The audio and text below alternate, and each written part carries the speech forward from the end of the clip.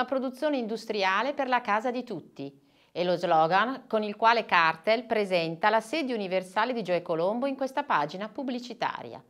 La produzione in serie, a differenza delle tradizionali lavorazioni artigianali, consente di abbassare i costi dell'oggetto e rende l'oggetto stesso accessibile a tutti, come recita lo slogan.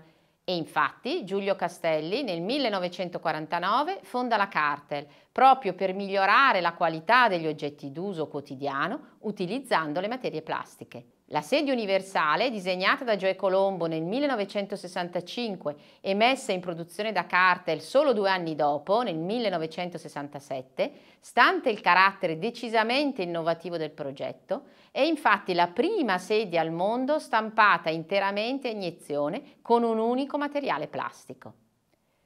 Io do un'importanza estrema allo studio di un oggetto per la produzione in serie, alla sua progettazione tecnica e alla scelta dei materiali, cercando di semplificare quello che dovrà essere il suo processo industriale di fabbricazione. Questi sono gli elementi che per primi determinano la forma di un oggetto, tanto che lo stilismo sparisce come elemento fondamentale di creatività. Con queste parole Gioe Colombo esprime in maniera sintetica ma efficace il suo approccio a quello che oggi chiamiamo design di prodotto, mettendo al centro del progetto la produzione in serie e la ricerca sui nuovi materiali. Ma perché si chiama sedia universale? L'idea era quella di realizzare un prodotto definitivo, cioè un oggetto che risolvesse una volta per tutte una determinata funzione, adattabile a qualsiasi ambiente, tecnicamente avanzato, monomaterico e monocromatico, ideale per una società di consumatori omogenei.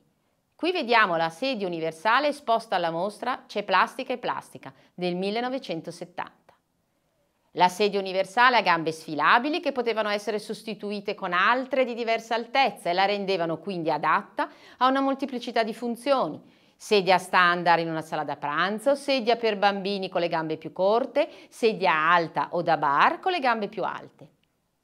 Esiste solo un prototipo della versione poltrona, di cui qui vediamo anche alcuni disegni tecnici.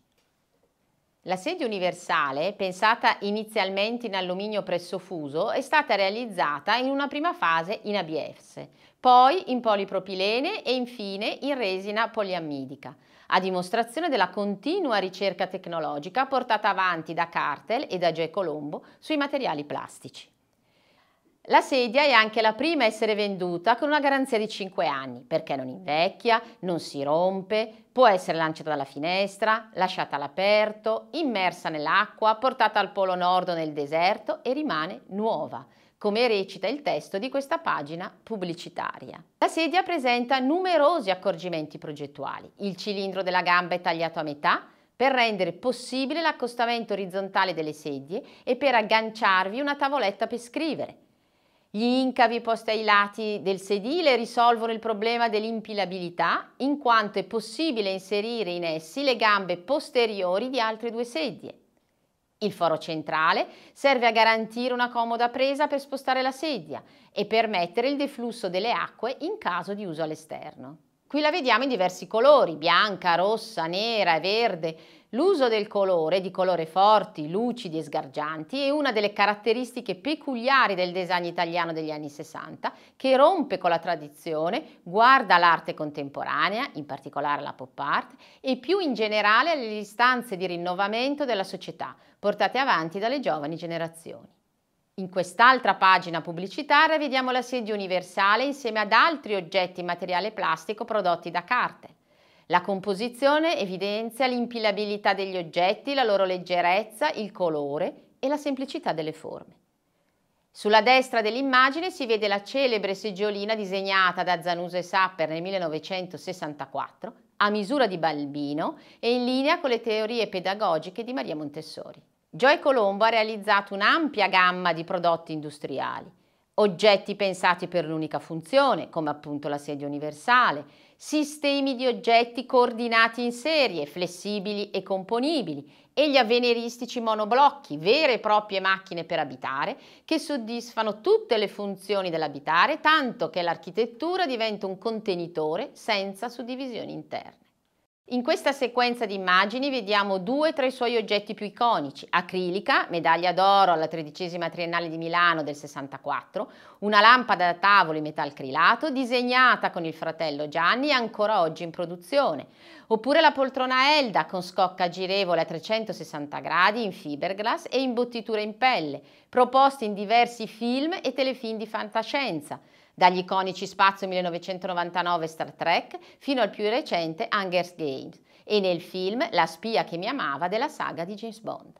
Per quanto riguarda i sistemi di oggetti, qui vediamo il Combi Center, mobile a torre su ruote, costituito da un sistema di elementi cilindrici attrezzati e rotanti l'uno sull'altro il Living Center, un sistema su ruote costituito da sedute a sdraio abbinate a un mobile contenitore con scomparti e altoparlanti rotondi.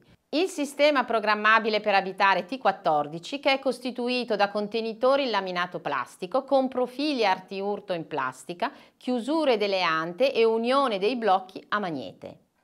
Tra i monoblocchi celebri sono l'ambiente Visione A1 per Bayer, il Cabriolet Bed e il Roto Living con le seduti multishare, che qui vediamo nel suo appartamento in via Argelati a Milano, e naturalmente il Total Furnished Unit presentato al MoMA di New York per la mostra Italy The New Domestic Landscape. La peculiarità del design di Joy Colombo consiste proprio nella sua capacità di incidere sui comportamenti sociali come le persone abitano gli spazi, come le persone usano gli oggetti, come le persone si relazionano tra loro tramite gli oggetti che le circondano. Tutto questo a partire dalle istanze di forte rinnovamento sociale e culturale degli anni 60 e 70, ma con la capacità anche di prefigurare il futuro. Le ragioni che individuano le nuove esigenze dell'habitat sono la trasformazione dell'impostazione sociale in atto, l'avvento e il perfezionamento delle comunicazioni audiovisive, il perfezionamento tecnologico, il superamento dell'attuale fase consumistica.